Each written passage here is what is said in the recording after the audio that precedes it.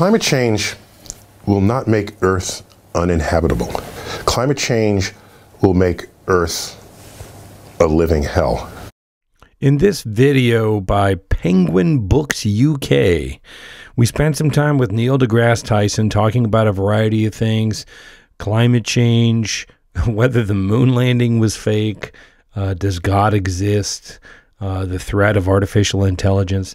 I'm a fan of Neil deGrasse Tyson's. I think he talks about things uh, in a clear headed scientific way that also manages to be entertaining, and which is why I want to share this video. It's not a new video, this is actually from five years ago.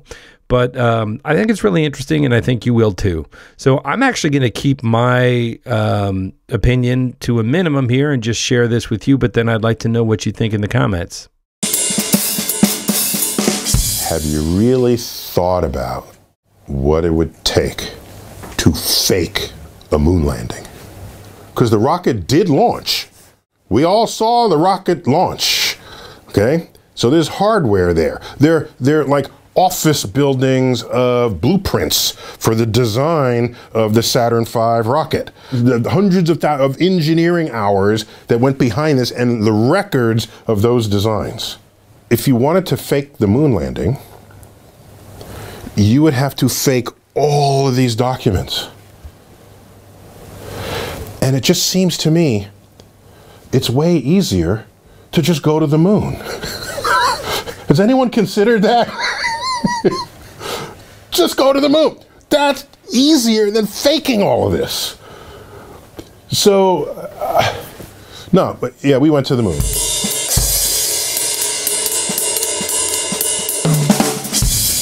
So climate change will not make Earth uninhabitable. Climate change will make Earth a living hell.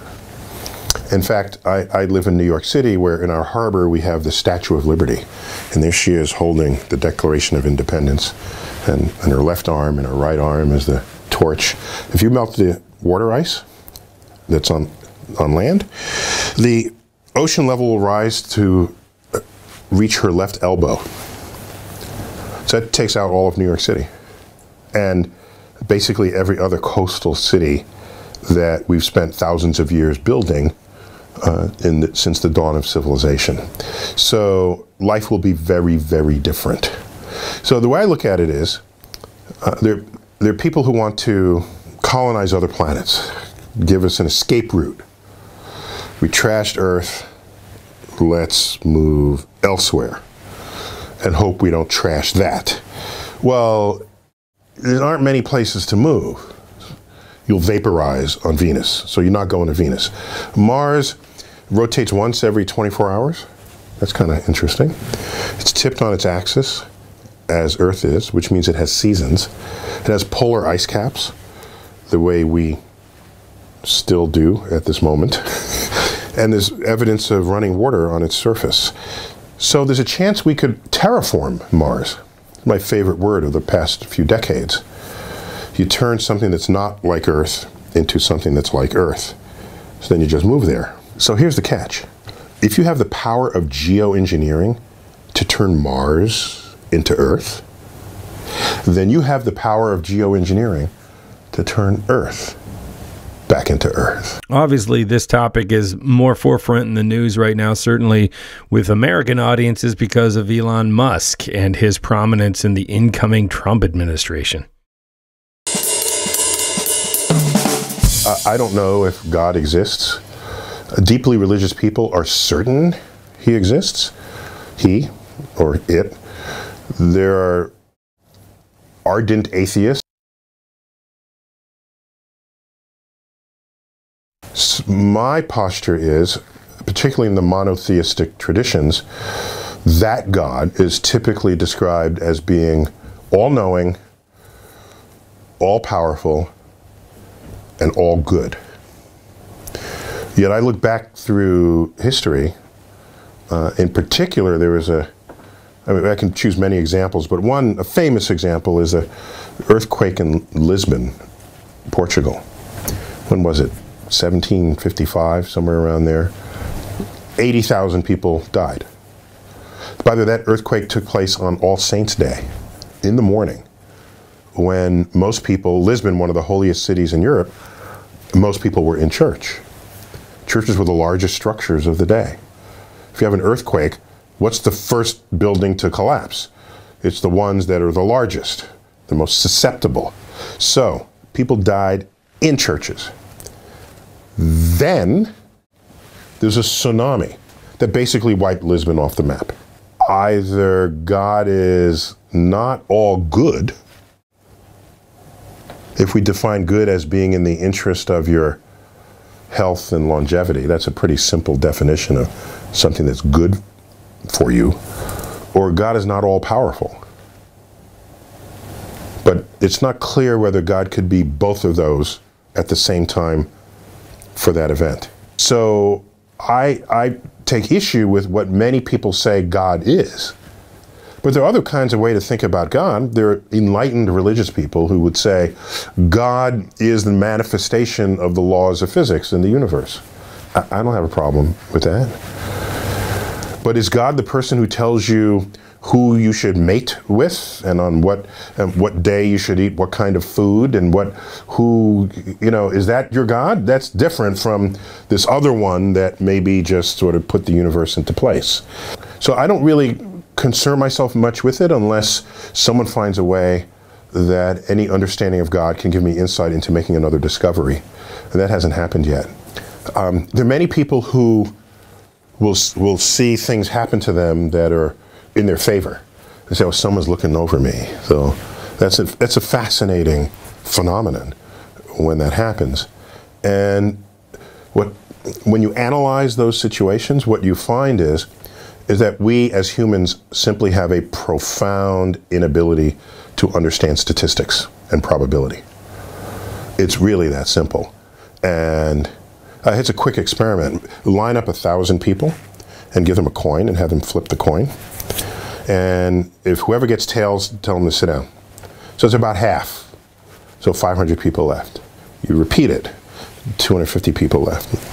You know, 125, 60, 30, 15, 8, 4, 2, 1. This is it's a thought experiment. So half the people set approximately half the people sat down every time they flip the coin. Half of them get heads, half get tails. There's one person that's standing at the end. That person flipped heads 10 consecutive times. So who does the press go to? The press goes to that person and say, "How do you feel about this?" Well, I felt that heads energy about halfway through, and I kind of knew I was going to win. I felt I I saw heads on the thing, and did they interview anybody else who might have felt exactly the same way but didn't flip heads ten times in a row because they're on their way home now? They're not there for the interview. So we're thinking that this guy had some kind of clairvoyance about his fate, or that, he prayed, or whatever. And so, whereas every time you do this experiment, basically, somebody flips heads 10 times in a row. And so we don't know how to handle coincidences or things that are rare for you, even if they're common in total. So, yeah, no, whatever God is, God is not luck. We can demonstrate that mathematically. I always think it's fascinating to hear scientists talk about the divine. Um, you know, of any discipline, astrophysics seems to me to be particularly uh, germane to the subject. Um, up next, he talks about artificial intelligence. Personally, I'm not all that worried about artificial intelligence and robots taking over the world. Almost everyone I know who's an expert in it, they're worried. They're all worried. I'm reminded of Ray Bradbury, author of many great science fiction novel about Mars and, and other stories. He was once criticized. Someone asked him, Ray, why do you have all these apocalyptic, futuristic stories? Is this what you think we have in store for ourselves? And he says, I don't write these because I think that's what our future will be. I write these stories so that you know what future to avoid. And I said, Ooh, that's deep. So the fact that we've had our share of films that show computer intelligence taking over. I think it spooked us. And a little bit of spooking is a good thing. It means you'll move forward, you'll step lightly. But here's my reasoning for why I'm not as afraid as AI experts. Every manifestation of computer ability that has arisen has been parsed into some task or set of tasks that we previously had undertaken, and now the computer does it. So we used to build cars on an assembly line. Now robots build cars. And cars are better than they have ever been. People think of robots that'll run around and they'll have all this high intelligence. Well, go back 40 years ago, 50 years ago. People were imagining robots, humanoid robots, and then the robot would then drive your car. No, not today. The car is the robot. So the idea that you would have what they call general intelligence, some kind of entity that can learn anything and do anything and do it better than any of us, I just don't see that as the direction things are headed. We'll have tasks, we'll get some really good computer to figure out how to do it better than we can, and then we, it happens. So I'm, I'm not as worried. But if the concerns of AI experts are real and we, we need to heed them, yeah, there'll be a day when AI takes over and it'll make us their pets. Right. Um. we should all behave, learn how to behave better. Because the day AI takes over, they're going to pass judgment on whether humans should continue or not in this world. Yikes. And again, this was some five years ago. Things with AI now have accelerated so rapidly.